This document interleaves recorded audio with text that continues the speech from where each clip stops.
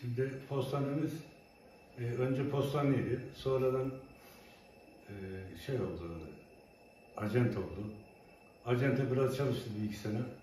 Ondan sonra acente de kapandı. Şimdi devlet buna e, belirli bir dışarıdan birisi atanıyor. Maaş yok. Bir de öğleden akşam oldu mu adam topladığı parayı götürüyor mengene. E 1500 lira para veriyor. 1500 lira da adam nasıl geçinecek? Sigortası yok, bir şey yok. Burada olan memurum.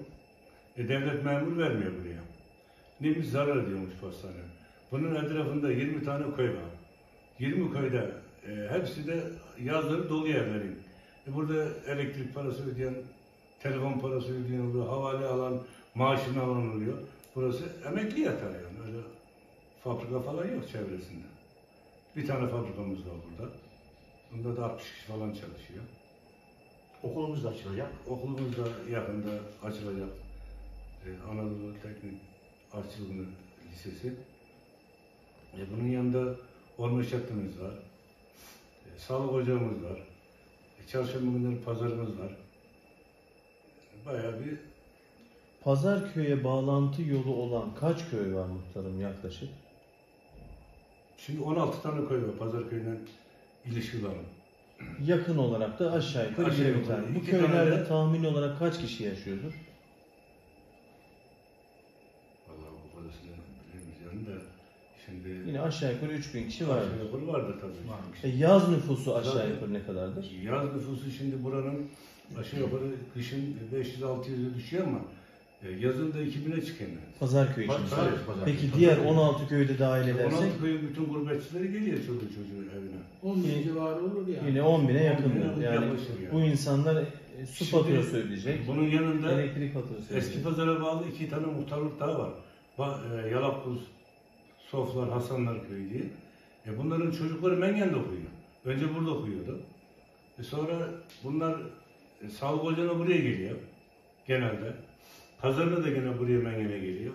Yani eski pazarın daha yakın olduğu için burası.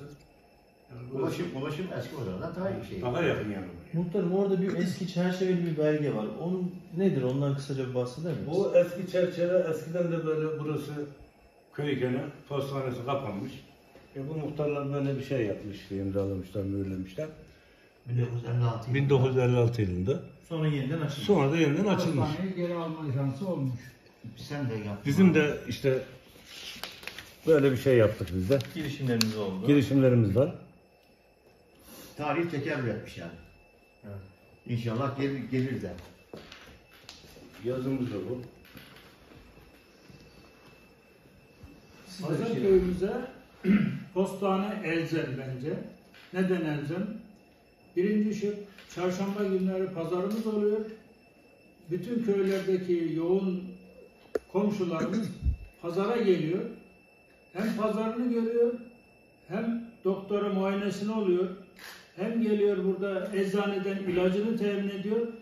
Postaneye elektrik parasını yatırıyor. Havalesini yapıyor veya havalesini alıyor, maaşını alıyor, emekli maaşını. O yüzden bizim bu pazar köyümüzde bu postane olmazsa olmaz.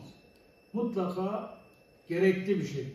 Çünkü bu saydığım kişilerin yüzde doksanı yaşlı ve emekli kişiler. Ee, ilçeye gitme imkanları oluyor, olmuyor. Ee, herkes de bu pandemi dolayısıyla vatandaşı aracını almakta imtina ediyor haklı olarak.